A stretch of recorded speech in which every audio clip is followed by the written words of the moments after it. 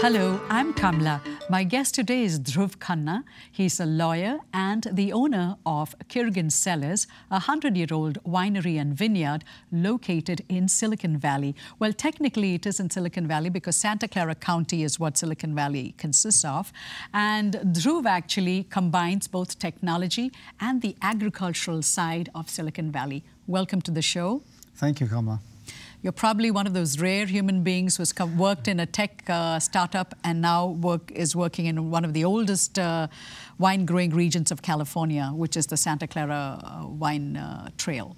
Yes, I, I, enjoy kind of spreading myself around. So yes, I've had a lot of experience in the technology field, obviously in the legal field, and now in farming as well. Mm.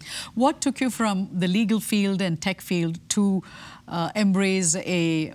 Are you a farmer? Should I call you a farmer? Well, my younger daughter kids me saying, Dad, you're not a farmer.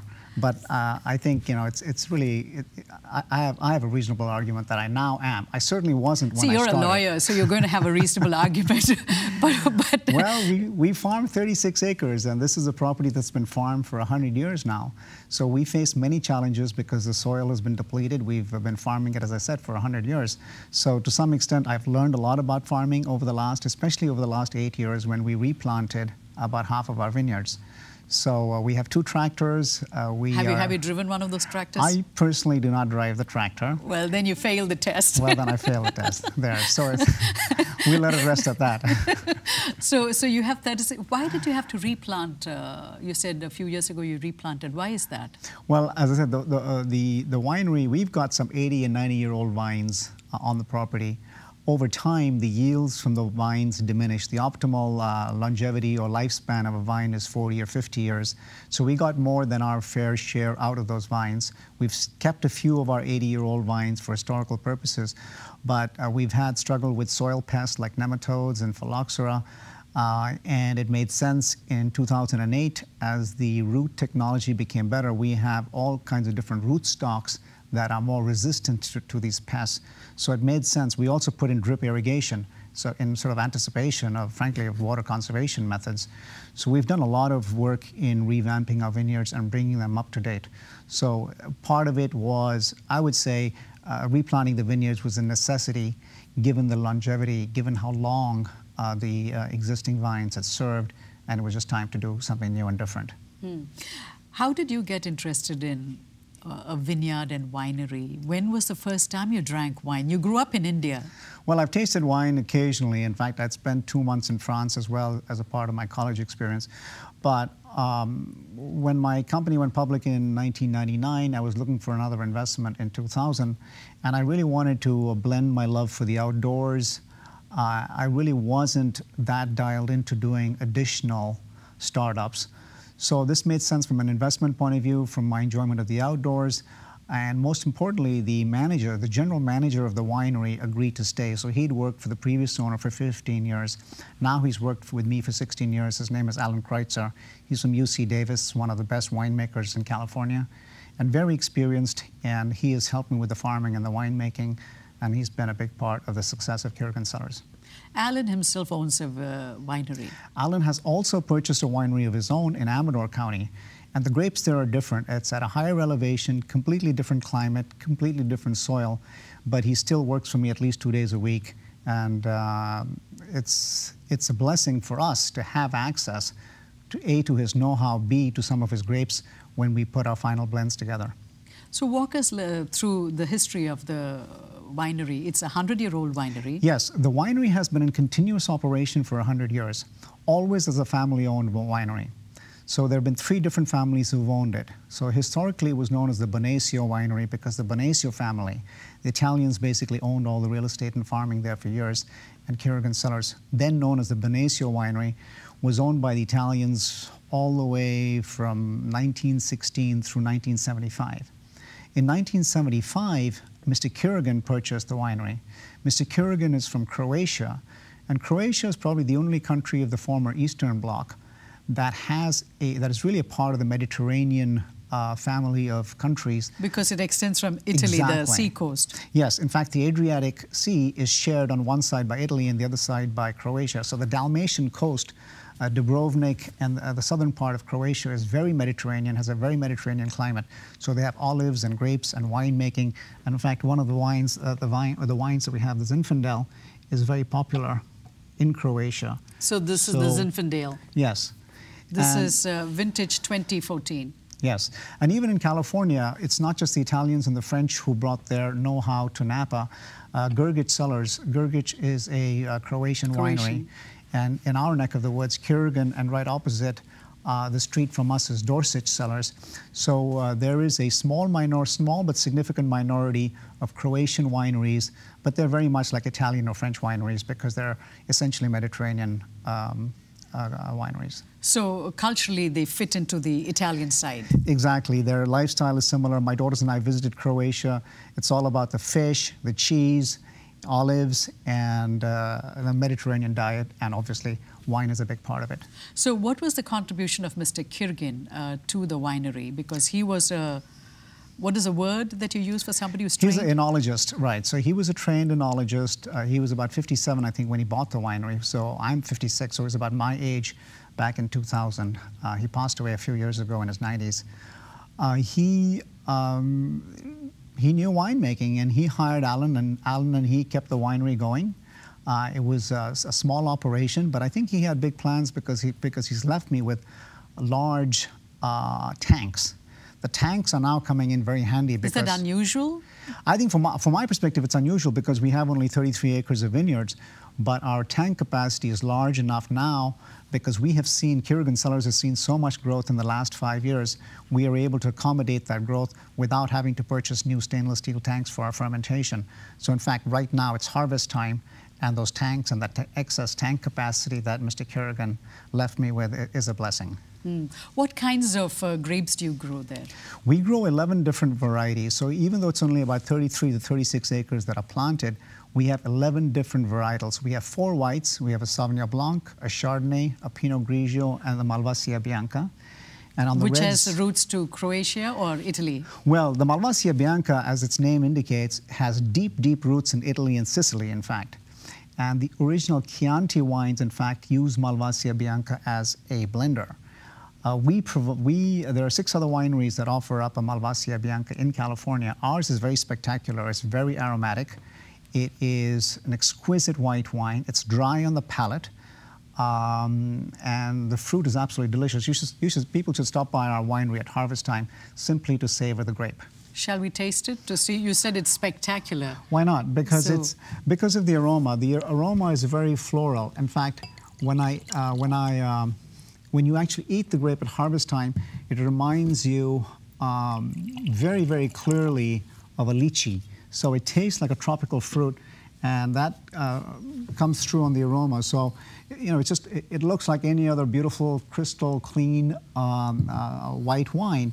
Uh, but it's very, very uh, floral on the nose and it's uh, it would suggest that the wine itself is sweet, but it's not. So that's what's so exquisite about the uh, about this particular white wine is that it's floral uh, in the bouquet and on the nose, but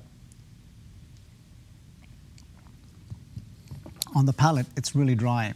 It's still fruity. It is Not, very dry. not very not very dry because the fruit the, the fruit and the character of the fruit comes through but it is not a sweet white wine uh, and it's certainly not the perfume is more on the nose than it is on the palate but it's just it's a wonderful uh, drinking experience i think Dhruv, where did you learn to speak so fluently about wine? well i've been uh, you know I, i'm now increasingly involved with all the blending decisions so uh, i've learned more about wine and i enjoy it i think wine is, is fun to look at it's fun to smell and it's obviously wonderful to drink, uh, to sip. Mr. Kirigin always said you should never drink wine, you should always sip wine. And I, I sort of agree with that because I, I gave us a fairly modest pour because I don't think one should pour more wine than that at a single sitting. Ah, and I think that's the, the beauty about the whole wine tasting experience is that it allows you to, to taste multiple wines. If you order a whole glass of wine, that's, I think, a lot. And So you never finish a bottle? I in do. one sitting? Uh, I try not to. It would be a, for me, uh, even when uh, you know, if I if I sit down with my girlfriend, and we go through a bottle of wine. That's uh, an evening of heavy drinking in my book. So you sip. I'll sip my wine, and, and I would prefer to uh, have multiple bottles open and, and try them, taste them against each other, uh, and progressively start with the lighter whites. Usually when I go out, uh, and, and uh, to a hosted event, I will start with literally one inch of a white wine. I'll try a couple of Chardonnays, and uh, I'll savor whatever else they're offering, whether it's a Pinot Noir or a Cabernet. But I try and get our, the host or hostess or the waiters to pour me uh, substantially less than a glass, more a taste, uh, and that's how I enjoy my wine. Mm.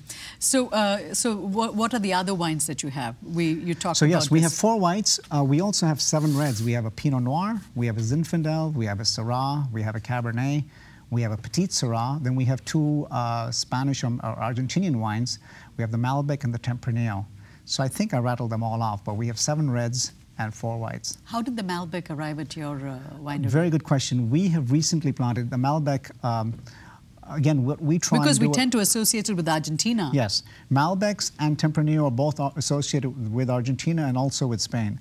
Um, we wanted to add to our wine list, and Malbecs are becoming increasingly popular. It's a very beautiful looking wine because it's got a hint of purple in it, and it's soft on the palate. Um, we just thought it was a good idea. So, and is uh, it dry or what? It's dry. Almost all of our wines we tend, to, except for our Vino de Mocha, which is a dessert wine. Um, this uh, dessert wine is, is, is one of our wines that is distinctly not dry. It's a fortified a wine liqueur. So it's in fact uh, red wine based uh, with orange, chocolate, and coffee flavors. It's our best-selling wine. Who created I'm, that? That was in fact a, that's a secret recipe that uh, Mr. Kirigin uh, created, and I inherited, and we are famous at Kirigin Cellars for that. I don't drink too much of it at all because it's too sweet on my palate. But if you're into dessert wines, this one is hard to beat. It's also known as the kissing wine. It's also known as the kissing wine. There's a lot of romance associated with this, and uh, it's been credited with uh, uh, increasing the population, world population. But I'm not sure how. Uh, how uh, so this is, is, vino de mocha. The vino de mocha. So coffee, the coffee flavors are, are very uh, distinct when you when you try that wine. Okay, but and this is your best selling. It is our best seller because people, you know, people like alcohol, people like sweet stuff, and you, when you combine them, especially as in the fashion that the Vino de Mocha does, uh, this wine is, is very popular. Okay. But basically, I mean, I, I, I like all kinds of wines. I'm mm. not. Um, uh, I'm not a heavy cab drinker or a heavy Pinot drinker. My, my wine choices are fairly promiscuous, actually. Got you. So you have followed a very interesting business model. You don't retail your wines. We, uh, we don't retail our wines through others. We exclusively sell our own wine at the winery. Uh, we are doing a very good job of it because the property is beautiful. The sports, whether it's soccer or cricket, we even have archery. Uh, that brings in a lot of foot traffic. And if you go to a winery or a Saturday or a Sunday, the place is packed. Uh, and we have multiple areas open for tasting. Uh, we sell a lot of wine direct. So we have a wine club. We do lots of business on weekends. We do a fair amount of business on weekdays as well. Uh, people come. It's a beautiful place to picnic. We allow people to bring their own food. We are not a winery that discourages picnicking. We encourage people to eat. We encourage people to bring their own food. And it's a lovely place. It's, it's dog friendly, it's kid friendly, and it's very um, Californian. Very Californian, and we we love what we do, and we're only 45 minutes from Palo Alto, so it's we are far more accessible than Napa or Sonoma for for the Bay, for the uh, Silicon Valley population. So right in the backyard of Silicon Valley. Yes, I mean from San Jose International Airport, it takes less than 30 minutes. To reach the to reach Kirigin Cellars. Kirigin and all the other wineries. Yes, we there's there's about 20 other wineries in our in our area. There's Solis, there's Guglielmo, there's, um, there's Clos Lachance. So there's a number of wineries uh, within five miles. There's at least a dozen wineries within a five mile radius of Kirigin Cellars. And your wine tasting are free? We are a very old fashioned. We have uh, scrupulously adhered to complimentary wine tasting. So you get six complimentary wine tastes, uh, and you can choose. We have 11 different wines. Do you get the glass? Uh, we do not give the glasses away. um, but uh, you can buy them at a very modest In the price. old days, that's what it was. You know, you went to a vineyard, it was all complimentary, and then they started charging money. Yes, a lot of wineries today in Napa and in Santa Clara as well charge a tasting fee. We do not. Okay, and why is that? Well, because we're old-fashioned, and what we've done is instead of punishing our customers for our success and our popularity, what we've done is opened up more tasting areas. So we provide more parking, we provide more restrooms, we provide more bar space, we provide more staff. So we are able to respond to uh, the crush of traffic by expanding our, our services and facilities rather than punishing our customers for, for, for, for loving us. Oh, okay, okay. So you mentioned something that you have cricket and soccer fields. Yes. That's unusual. You don't hear of uh, cricket, especially in a vineyard in California. Well, yes, it started with cricket, which was, that, was, that was my passion, but uh, I think it was about 2004 or 2003 when my older daughter started playing pretty good tier one, class one uh, CYSA soccer. And I noticed the so soccer had the same problem was that there weren't enough soccer fields. So I built some more soccer, so I built the soccer fields in 2005. And since 2011, when I built the parking lot, we've had kids. I've probably had a thousand soccer games, nearly a thousand soccer games there over the last five years. So it's very popular with the moms and the dads, and it's great for the winery. Somehow, I'm sure it really helps my business. But the kids play soccer there for free, and I enjoy it, and the winery is thriving. Mm. And the cricket is? The and for those who don't know what cricket is, how would you describe well, it? Well, cricket is the, you know, the, the baseball of, of England, the West Indies, Australia, South Africa, basically the hardcore... Um, you missed India. Well, India, Sri Lanka, and Pakistan are crazy about cricket. So um, uh, there's, uh, Silicon Valley has its cricket partisans. I think there's like 40 teams. I myself have played cricket here pretty much continuously until about a year ago when my back and knee started bothering me but there's a fair amount of cricket played in the Bay Area. And so your passion for cricket uh, induced you to establish a cricket field in your winery. Yes, you see, the, the vines like good drainage, and the flattest part of the winery was lying vacant. So I put in the, the, uh, the sod, basically uh, the sports fields on the flattest part of the winery. So we have, so the property is 50 acres. We got about 35 acres of vineyards. We have 10 acres of sports fields, which is more than enough for two cricket fields, plus you know, another uh, four uh, kids soccer fields. Some of the soccer fields overlap with the cricket fields. So we don't have cricket and soccer there at the same time, but some, you know, one day it's archery, one day it's soccer, one day it's cricket. But mostly it's soccer, and because that's the most popular sport and it's been great for business. Do you provide all the cricket equipment, uh, bat and bowl and the wickets? We can for our corporate customers who ask for it. We do provide it, but corporate customers come there. Yeah, we've had a number of startups. We've had a number of established companies. We've had um, software companies, hardware companies uh, internet companies uh, organize. Uh, uh we've had we've had a, you know financial companies in that New I'm York. not surprised because a lot of Britishers in the finance yeah, industry. so in the finance industries as well. So I'm not going to tell you any names, but there are some big names that have come. Uh, and enjoyed uh, a day of cricket and wine. You combine the cricket and Do the wine. Do you have strict rules food. about that, that they need to wear whites? Well, no, we, we are fairly laissez-faire. We're, we're California, so we're, we're very California. So, you know, the, we, we won't tell our clients what, what, what they ought to wear and, and how they ought to drink their wine. They, they get to choose. Got you. Okay. How did you come to this country? You grew up in India, went to Doon School. Yes, and then I got a scholarship to go to England for two years. So I did my A levels in England. Which school? Uh, at Sevenoaks in Kent, which is basically in the suburbs of Daniel Day Lewis studied there.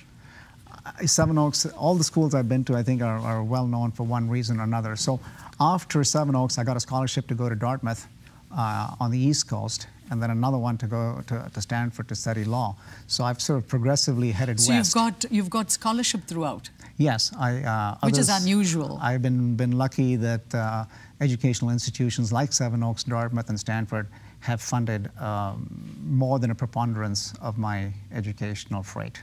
So uh, Stanford got you to Silicon Valley.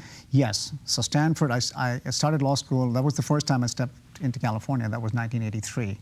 And I graduated from Stanford Law in 1986. So in fact, this year it's, it's a lot of uh, reunions for me. It's my 40th year from the Doon School. It's my 30th year from law school. And Kirigin Cellars itself has turned 100 years old because Kirigin Cellars was founded in 1916. So it's a landmark year.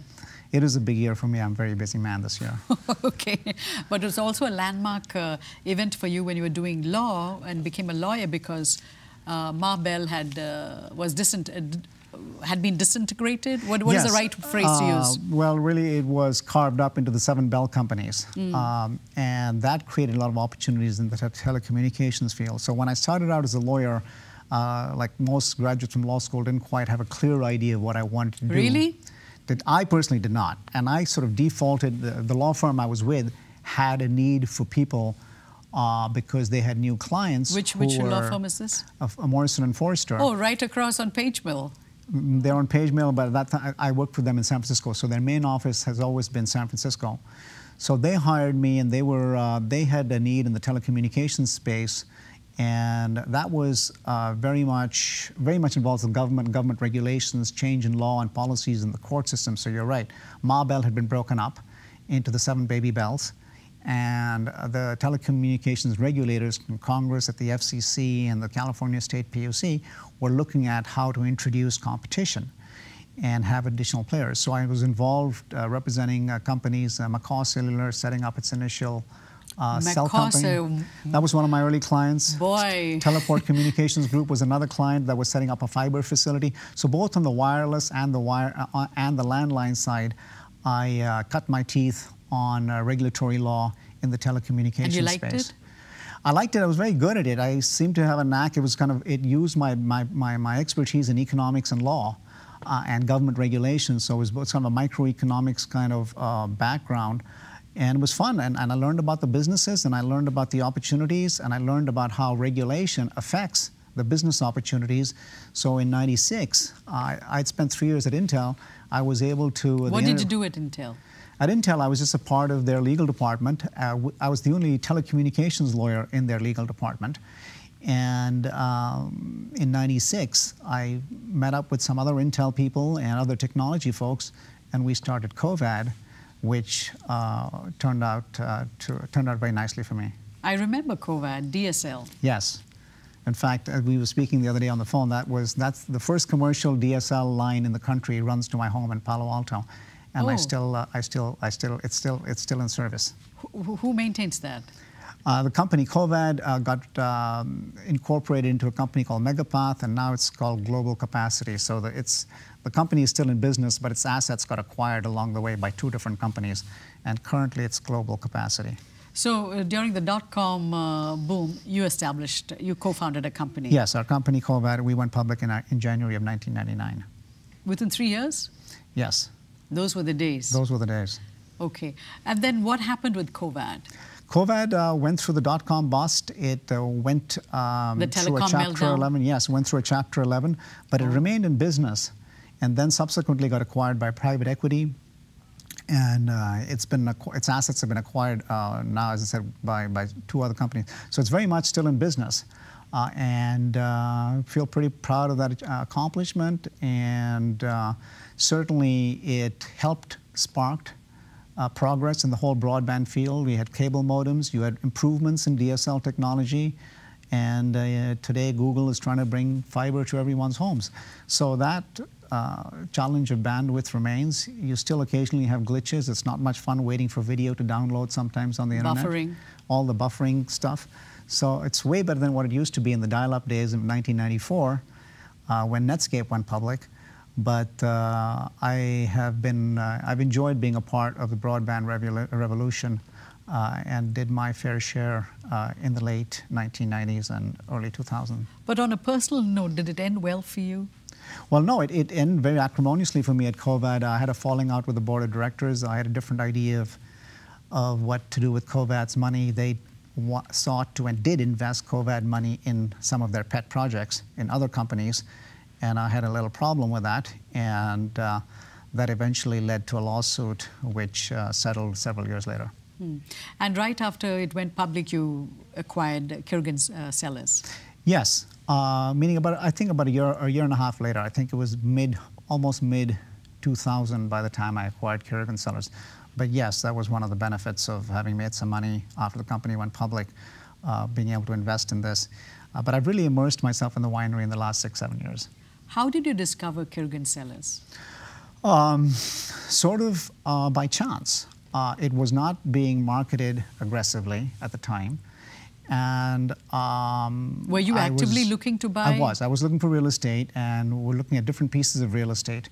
And the only reason that Kirigin Cellars you know, registered with me was because the general manager indicated his willingness to stay. Uh, given my lack of knowledge of farming and the winery business, uh, to me that was critical because this was a wonderful piece of real estate. It's a beautiful property. It is.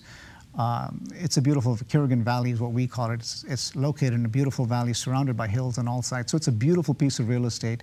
It's only 30 minutes from San Jose International Airport. It's 45 minutes from my home in Palo Alto. So it made a lot of sense, and I'm glad I did it. Mm. So, and was it easy to then uh, for Mr. Kirigin to sell it to you because you're from India and India's, Indians are not known for being wine drinkers? well, Mr. Kirigin and I hit it off and um, for for whatever reason, uh, he, well, not for whatever he was old. I mean, he was now in his 80s, so he was ready to sell, and it, it made sense. And uh, he he was a very he is he was a very direct gentleman, and he found me to be the same. I, I don't uh, sugarcoat or, or uh, have too much subtlety in what I say. So we got along very well, and uh, as I said, I'm certainly glad I bought it from him, and I think he's glad he sold it to me as well. Have you broken even? Oh, good question. It took us a while. I, I lost money on the property until 2012. So since 2012, we've been having a, you know, a, a modest profit financially, but on the goodwill side and the community benefits that we provide to the kids who play soccer, I would say it's horrendously pop it's, it's hugely pop profitable. It's very satisfying. But yes, from a financial perspective, we turned the corner in 2012, and we, we are and will remain modestly profitable going mm. forward. Have you ever thought of changing the name of your uh, winery? That's a, another very good question. I think that's part of the reason why Mr. Kirigin likes me is that I've kept the name. My last name is Khanna. It's a very common Indian name. My first name is a little more unusual. Nevertheless, uh, we already have an investment in this name. We have a fan base. Our winemaker is the same. A lot of our wines are the same. Our, our, our Malvasia Bianca, our Vino de Mocha are the same. And um, it works so if it ain't broke, why fix it? okay. And uh, would you, would you, if you, if you look back, would you buy this winery? Yes, but I have to say, you know, I have to admit that when I bought the winery, I did not know that I would do with it that what I have done with it. So mm. it's been, it was a major fixer-upper. It had been neglected in many ways. Its facilities, I converted all the, uh, all the uh, vineyards to drip irrigation, uh, modernized the vineyards with the, the new rootstocks that we talked about. Uh, I've started the wedding business, started soccer. So all of those have uh, measures have cemented the financial stability, and so we are very much a sustainable winery, uh, and we have great confidence in our continued growth. We have the capacity for that, and we're very grateful to our customers. Dhruv, Thank you for stopping by and talking about your vineyard, which is 100 uh, years old and located right here in Silicon Valley. My pleasure. Thank you. And thank you for watching. If you missed any of our shows, you can watch them on our YouTube channel. And we'll be back again with another edition. Until then, goodbye.